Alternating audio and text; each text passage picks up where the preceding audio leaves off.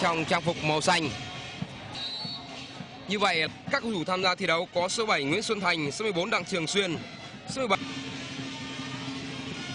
lại ở vòng cuối cùng giải nhất quốc gia chính cúp Tonhasen năm 2010, ban tổ chức đã điều chuyển một số trọng tài có chuyên môn cao, cụ thể là các trọng tài ở V-League xuống làm việc ở các trận đấu cầu đình, tức là những trận đấu quan trọng ở quyết định đến ờ, không có Phạm Minh Phát. Nhiều khả năng sẽ là CV hoặc Xuân Thành thực hiện quả sút phạt này.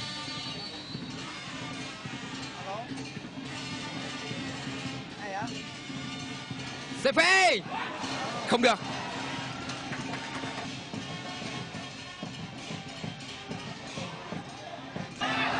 Fred không được vẫn không được.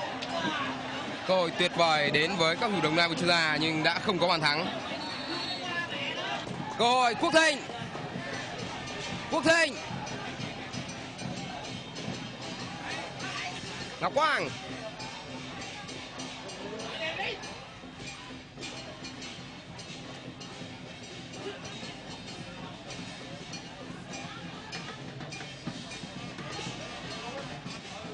Rồi đánh nhau. Không được.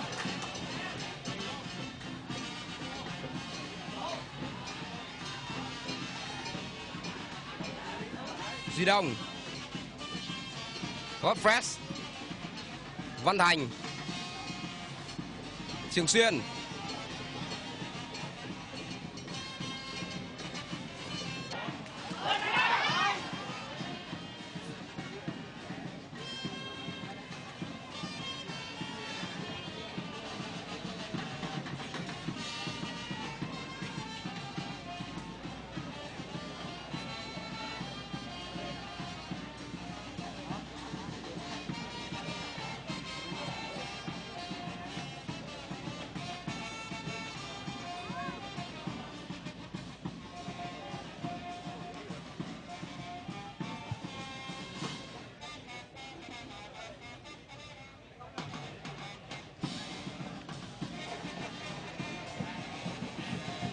Quý vị và các bạn đang theo dõi trận đấu trong của lượt cuối cùng dòng đá nhất quốc gia trên cúp Tôn Hoa Sen năm 2010 trên sân vận động Đồng Nai giữa Đồng Nai Gia và Hải Nhân Tiền Giang. Tỷ số lúc này vẫn đang là 0-0. Một kết quả không có lợi cho các cầu thủ chủ nhà.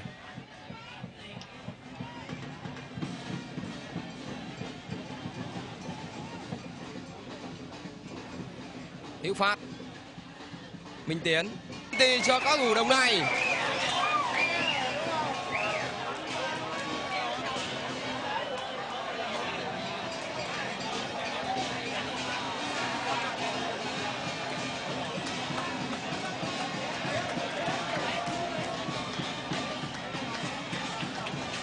Lúc này có khoảng 4.000 khán giả trên sân vận động Đồng Nai Bundesliga ủng hộ cho các cầu thủ áo đỏ.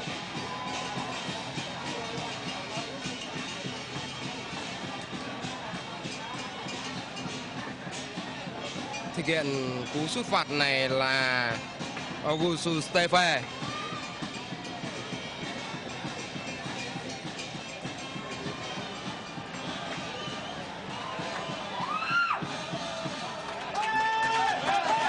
Đây có thể là một bàn thắng trị giá hàng tỷ đồng của Stefe.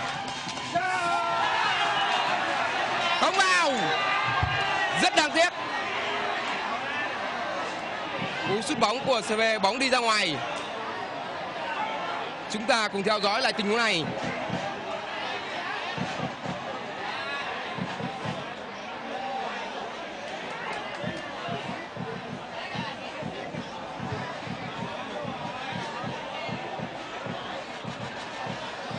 mười một mét ra ngoài rồi, chính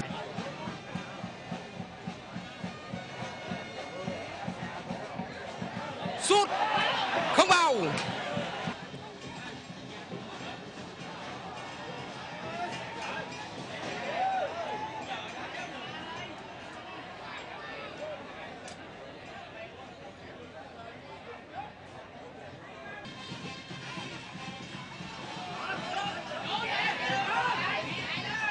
Xuân Thành.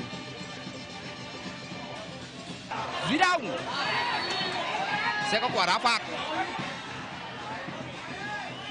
đó là và và bóng khá thô bạo của Đinh Cường.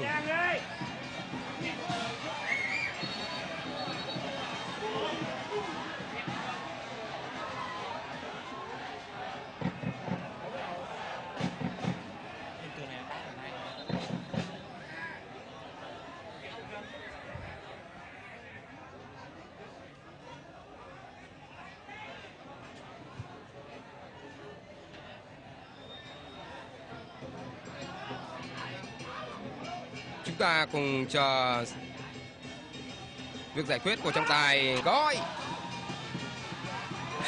không được. Pha đánh đầu nối là của Godfrey Stefe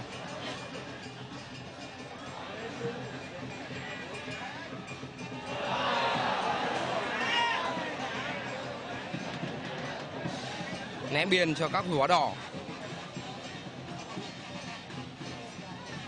Việt vị của Stefe có vẻ như sau khi Ngaleteri ra